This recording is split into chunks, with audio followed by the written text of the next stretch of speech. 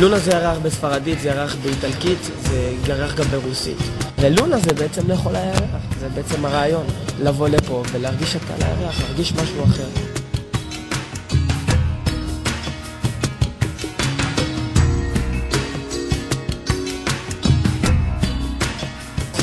האוכל, אנחנו בעיקר מתמחים בבשר, בשרים מיושנים, אה, בדגים מכל הסוגים. אה, הרעיון הוא ליצור מסעדה כשרה ברמה גבוהה, שפחות או יותר שווה, שווה לכל כיס.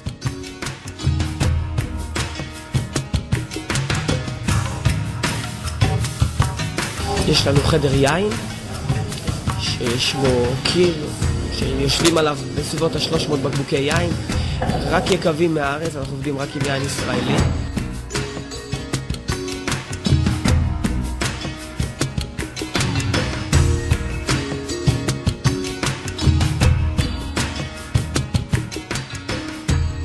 יש הזדמנות בארץ לאכול על הירח.